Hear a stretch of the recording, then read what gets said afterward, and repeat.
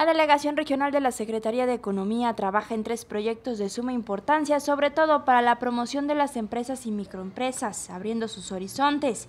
En caso específico, las herrerías, artesanía que causa mucho interés en la Unión Americana y que ahora podrán exportar si cumplen con ciertos lineamientos. Eh, sumados con un esfuerzo con el Ayuntamiento de Nogales, con la parte de desarrollo económico y con el Gobierno del Estado, la Secretaría de Economía, para tratar de trabajar sobre un clúster de herreros, de herrería artística. Convocar a todos aquellos herreros que ya estén exportando, porque hay una oportunidad de organizarlos y buscar mercado en Estados Unidos.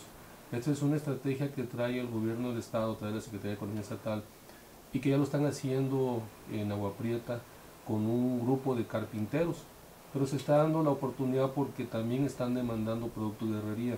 La dependencia federal también tiene otros dos programas que actualizan y modernizan los sistemas de empresas ya establecidas, pero abren nuevas opciones. Atención notarios públicos, esta información es de su interés. El secretario de Economía, Bruno Ferrari, junto con otros actores eh, que tienen que ver con el apoyo a las empresas, ya se lanzó oficialmente el Registro Único de Garantías Mobiliarias y la Secretaría de Economía eh, somos ventanilla para poder registrar aquellos, eh, diríamos, acreedores que financian a empresas, a personas, para que inscriban, algo así como el registro público de la propiedad, pero en lugar de ser inmuebles puede ser maquinaria, equipo de transporte, muebles, que pueden darlos como garantía y accesar al financiamiento.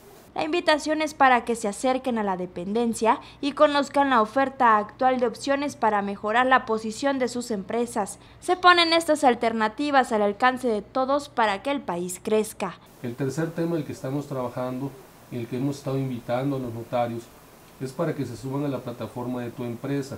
Esta es una herramienta electrónica de tal manera que ayuda a que aquellas, eh, aquellas empresas nuevas que se constituyan como personas morales a través de este portal vía electrónica en un, en un par de días, máximo tres días, estén registradas. Actualmente alguien que quiera hacer una sociedad anónima tiene que ir a Hermosillo a, a solicitar su permiso de relaciones exteriores o buscar a alguien que se lo haga.